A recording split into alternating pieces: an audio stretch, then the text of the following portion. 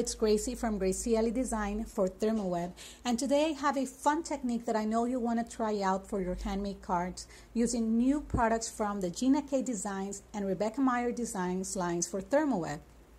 And so first I cut a piece of premium white cardstock and I placed a mini jungle vine stencil from the Crafters Workshop and I used a sponge dauber to apply two different tones of green inks from the new Gina K's line called Jelly Bean Green and Grass Green. I'm trying to create a transition, applying one tone of ink on the top and then another one on the center of the card. This ink background will create the perfect base for that foil dipped effect that we want to create for our background. These inks blend very well together because they are made to coordinate perfectly. So they are very easy to use. I'm now going to apply Rebekah Meier's Design's new mixed media medium using a palette knife and this medium is not only great as an adhesive for your paper crafting projects and mixed media projects, it is also great for transferring foil because it dries tacky and it will allow you to transfer foil with only your fingers without the use of a laminator. Remove the stencil and make sure you wash it and clean it right away.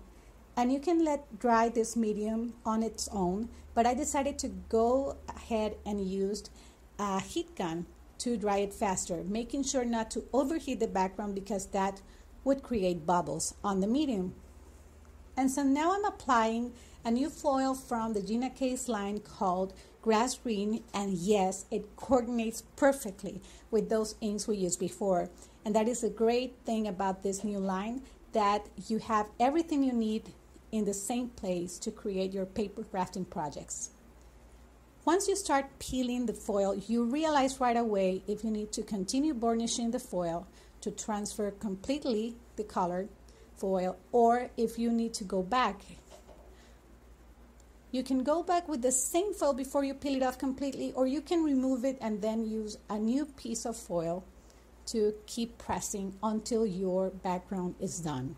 I put that aside and then I die cut some elements using the new Gina K die sets, rectangle small set double stitch design and the rectangle large set single stitch design.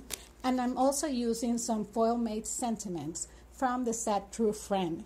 And these are very easy to use. You just run them through the laminator and I use a coordinating foil and I used a matting rectangle too. So all there is to do now is attach all the elements with 3D Zots and easy tear tape and add them to a coordinating card base using the new Jelly Bean Green cardstock. And that's it. I hope you enjoyed today's video. For more ideas and inspiration, make sure you visit thermoweb.com and you can also visit my blog, gracieelliedesign.blogspot.com. Thanks so much for watching. Until next time.